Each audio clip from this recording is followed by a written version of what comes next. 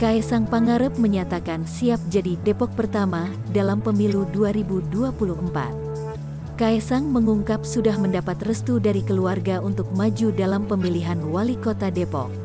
Langkah Kaisang terjun ke dunia politik itu menambah daftar keluarga Jokowi yang terjun ke politik. Hal itu kemudian memunculkan anggapan bahwa ada dinasti politik Presiden Jokowi. Pertama ada Gibran, sebelumnya Gibran mengaku tak ingin terjun ke dunia politik, namun Gibran menelan ludahnya sendiri ketika mendaftar sebagai calon wali kota Solo. Kedua ada Bobi Nasution yang menjabat sebagai wali kota Medan, dia merupakan suami dari Kahiyang Ayu, anak kedua Presiden Jokowi. Kemudian yang ketiga ada Anwar Usman yang merupakan suami dari adik kandung Jokowi, Idayati. Anwar Usman menjabat sebagai Ketua Mahkamah Konstitusi. Terbaru ada Kaisang Pangarep yang maju sebagai calon wali kota Depok, Jawa Barat. Rencana Kaisang maju jadi calon wali kota Depok mendapatkan dukungan dari PSI.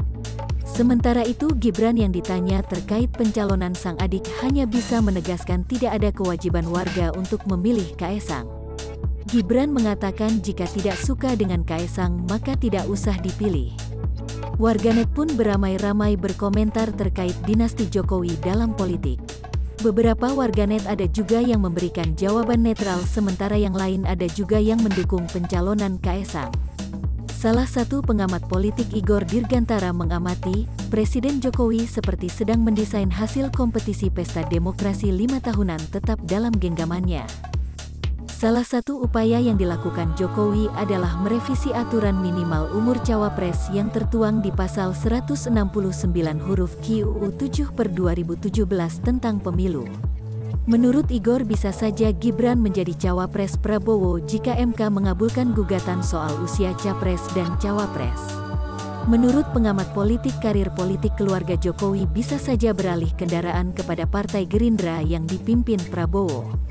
Bahkan putra Jokowi, Gibran Raka Buming Raka bisa saja dipinang Gerindra untuk menjadi cawapres Prabowo di 2024. Ketua DPC PDIP Kota Solo FX Hadi Rudiatmo membantah terkait hal tersebut.